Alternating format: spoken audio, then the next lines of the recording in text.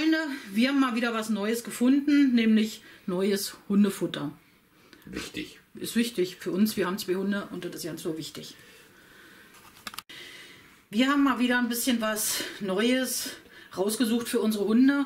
Die fressen nicht alles. Unsere älteste, die ist jetzt zwölf Jahre, die verträgt auch nicht mehr alles. Die kriegt ganz schnell Durchfall und was weiß ich. Jetzt habe ich im Internet mal ein bisschen gestöbert. Es gibt ja ganz viele, die jetzt plötzlich frisches Hundefutter anbieten, also frisch gekocht, nicht so doll gekocht. Und ich habe mir jetzt einfach mal eine Sorte rausgesucht. Ich werde da vielleicht noch ein paar mehr testen, aber die hier hat mir eigentlich am besten gefallen von allen bis jetzt. Das ist eine ähm, Futtersorte aus Schweden, Anifit. Anifit.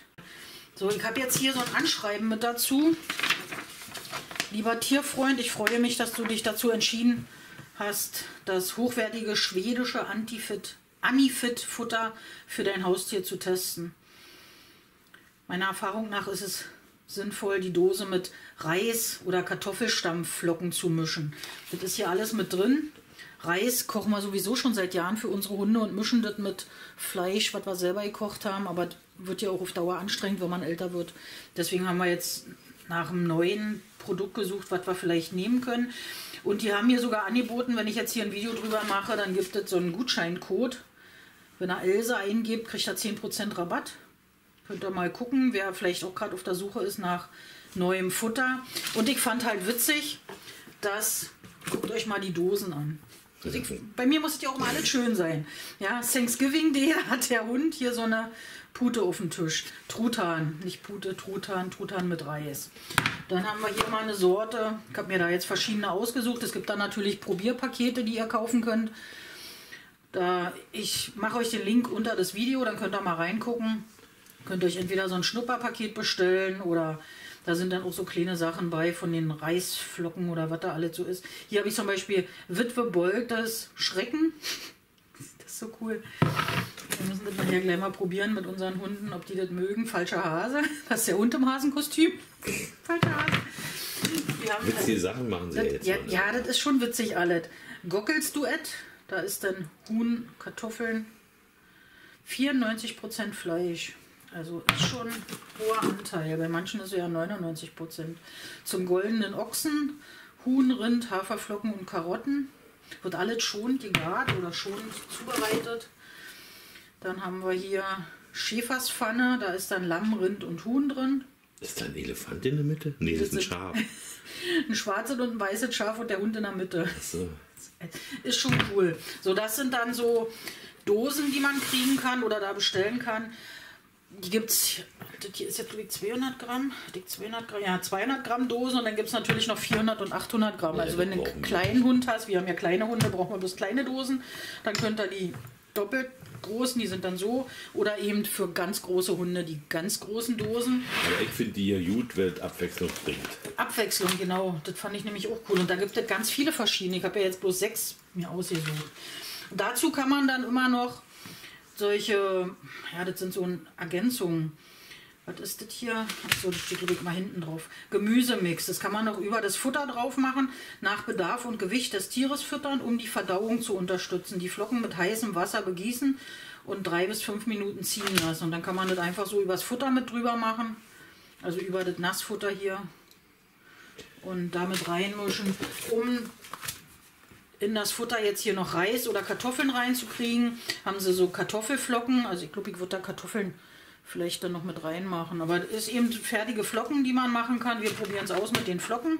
Aber das Gemüse braucht der Mensch wie das Tier, Ja. weil das verdauungsfördernd ist. Und ich habe jetzt hier mal zum Probieren so kleine Rinderleber, getrocknet, gefriergetrocknete Fleischstückchen. Das sind jetzt hier bloß drei, das ist bloß so eine Probierpackung, dass man sich mal Da werden wir erstmal sehen wollen, was zu fressen und Ja, was nicht. genau, weil meine Hunde oder unsere Hunde so wählerisch sind. Ich Na, wegen dem Koch zu Hause. Ja, ich kaufe dann immer irgendwelche Sachen und die Leckerlis kriegt dann meine Freundin Wenke für ihren Hund, weil der alles frisst. Und sie fressen nicht alles. Und dann kannst du mal so ein kleines Dingens hier nehmen und gucken, ob das überhaupt deinem Hund schmeckt. Wie der Herr, so das Geschirr. Hirschsnacks. Na, da bin ich ja mal Na gespannt. Das ist Hirschsnacks. ein Luxusartikel, der nicht sein müsste. Wels. Fisch, äh, Fisch mögen sie nicht so. Werden wir sehen, ob sie das fressen. Wir probieren es dann aus. probieren's, Deswegen genau. haben wir das ja erstmal zugelegt. Genau, dann hast du nämlich so eine kleine. Tütchen. Kannst du das mal austesten, finde ich gar nicht so schlecht. Hier haben sie so eine Reis, stand da eben Reispops, ja. Reispops, die man auch mit ins Futter so mit reinmachen kann. Muss ich auch kurz nochmal lesen. Ergänzungsfuttermittel für die Hunde. Nach Bedarf. Da steht jetzt aber nichts, dass man da das irgendwie mit Wasser aufgießen muss. Hatte ich jetzt eigentlich auch gedacht, dass man das machen muss. Bei den Kartoffelflocken. Das ist doch schon fertig gekocht. Ja, aber ist ja auch hart. Ja, ja. Aber da steht nichts von, von heiß, also nichts von Wasser drauf machen. Hier ist dann nochmal gefriergetrocknete Hühnerbrust. Das, also Hühnerbrust, Das fressen sie, 100%. Hühnerbrust, die trocknet, fressen sie gerne, da kauen sie gerne mal drauf rum. Und hier haben wir so eine kleinen Stückchen, die friergetrocknet hat man natürlich noch nicht. Was ist das hier? Hühnerherzen gefriergetrocknet. Das ist auch lecker. Herzen fressen sie auch gerne. Ja. Das haben wir auch festgestellt. Mal gucken, mal gucken, ob sie das hier so mögen. Leber. Ist jetzt nicht für mich zum Anfassen. Wer Hühnerherzen isst, der isst doch kleine Kinder. Mein Mann isst Hühnerherzen gerne. Das hat sie jetzt mit Absicht gesagt. Das hat sie mit Absicht. Eine schöne Hühnersuppe und, und kleine Innereien drin ist das Nee. leckerste, was es gibt. Nein, nein. Ach, ihr habt da alle keine Da darf sowas nicht mit rein. Habt So, und wenn ihr euch so ein Probierset da bestellt, dann kriegt ihr auch hier so kleine Bücher mit drin. Hier ist ein Produktkatalog, was es alles so an verschiedenen Futterdosen gibt. Gibt natürlich auch Trockenfutter, was es für Snacks alles gibt, dass man sich da mal schlau machen kann, was man alles. Muss da auch erstmal noch mal lesen und gucken. Aber ich wollte es euch halt nicht vorenthalten. Und dann kriegt ihr hier auch so eine Ernährungsfibel eine Ernährungsfibel mit dazu, was dem Hund gut tut und was nicht. Also ist schon eine coole Oh. Sache. Der Hund jetzt ja, eigentlich ist die Schrift das Wichtigste, aber bunte Bilder sind immer gut. Ja. Oh, Das ist oh.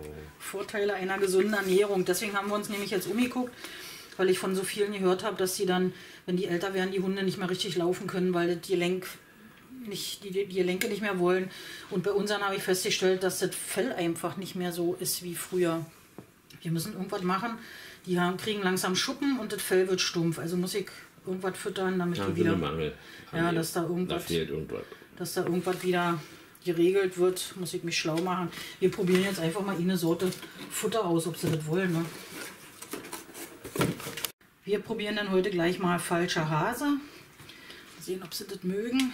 Ist ja immer Geschmackssache. Also ihr müsstet vielleicht sowieso, wenn ihr anderes Futter nehmen wollt, als ihr sonst immer genommen habt, Erstmal dran gewöhnen. na, erstmal eine Auswahl von verschiedenen kaufen. Da gibt es so, gut, die kosten alle ein bisschen Geld, aber da sind dann verschiedene Dosen drin. Sonst kriegt man immer sechs Dosen von einer Sorte. Die kosten, dann, glaube ich, 18,84 oder so weit, wenn ich mich recht erinnere. Und wenn ihr mal einen Schwung von jeder Dose eine nehmt, um das mal zu probieren, Noch nicht so viele. dann wisst ihr wenigstens, welche Sorten die mögen, als wenn man jetzt gleich sechs von einer Sorte kauft. Ja, ne, Probierpack. Dafür gibt Genau. es ja den Probierpack. Genau, und jetzt machen wir Kartoffelflocken damit drauf. Habt ihr gesehen, unsere Hunde fressen nur aus Bleikristallschalen. Ja, wir haben alles Mögliche probiert. Wir hatten Blechdosen, also Blechnöpfe, wir hatten Keramiknöpfe. Die wollen da nicht ran. Und aus diesen Dingern die fressen sie. Komisch. So wie das Frauchen. Ganz verwöhnte Viecher. So was von. ver- Also riechen tut schon mal gut, das könnte man ja selber essen. Ist ja auch Lebensmittel echt. Lebensmittelqualität. Na, Ja. Könnt ihr also auch selber essen, wenn euch das schmeckt. Notfallreaktion. So, na, da bin ich jetzt mal gespannt. Ich erstmal. Das ist jetzt die Generalprobe oder sowas. Mhm. Ne? Heißt das so? Ich habe noch keins aufgemacht, ja. Der Kleine ist nicht so. Also Speedy ist kein Kostverächter. Oh, ist das. Zudem schmeckt das. Das ist ja nur ganz neu, erste Mal. Der ist zwar nicht so wählerisch wie die große, aber alles frisst er halt auch nicht. Also man kann ihm nicht alles vorstellen. Da muss sich erstmal dran gewöhnen, an den Geruch. Die andere muss ich erstmal dran gewöhnen. Die große. Die ist immer zögerisch bei neuen Sachen. Ja. Und wenn sie dann erstmal den Geschmack gefunden hat, dann kann sie. Frisst dem Kleinen mal alles weg, den muss man dann separat füttern. Aber jetzt kann der Kleine erstmal leckern. lecker, lecker, lecker. Funktioniert jedenfalls.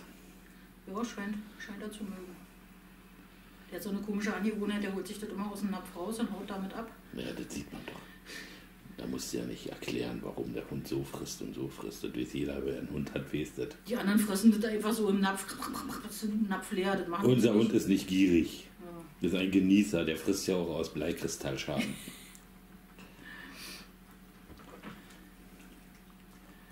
Hast du erstmal alleine das Futter, ja? ja. Wenn er das frisst, frisst die andere das nachher auch. Das sieht das nachher auch, ja. Magst du noch ein Leckerli? Der Kleine ist nicht wählerisch. ist kein Kostverächter. Also man muss das wirklich ausprobieren. Der eine Hund frisst es, der andere Hund mag es nicht. Was ist die hier nochmal? Lecker, Wenn der. Kleine ein Pie fressen hat, willst du das auch, ja? Mm. Sag doch, die frisst aus Neid. Also ihr Lieben, wenn ihr auch gerade auf der Suche seid nach einem neuen, vielleicht besserem Hundefutter, als ihr jetzt gerade habt, dann schaut da mal rein, nutzt eventuell oder auf jeden Fall mein, wenn ihr da schon was kaufen wollt, dann meinen Rabatt mitnutzen. Also es lohnt sich mal was Neues auszuprobieren, weil das eben wirklich fast alles Fleisch ist und da ist kein Getreide drin. Das Getreide ist, glaube ich, das, was das Fell so stumpf macht und so was. Und die vertragen das nicht alle. Also man muss wirklich das Hundefutter finden, was dem Hund liegt und was dem Hund gut tut. Deswegen probieren wir jetzt ein paar aus. In diesem Sinne, bleibt weiterhin neugierig und schaut wieder bei uns rein. Denn wir zeigen euch immer wieder die neuesten Sachen, die wir so finden. Leckersten. Und die leckersten Sachen. Das riecht, also Riecht, riecht lecker. Hm? Man ist ja fast in Versuchung, aber nee, das ist Hundefutter. ne? Das ist Hundefutter.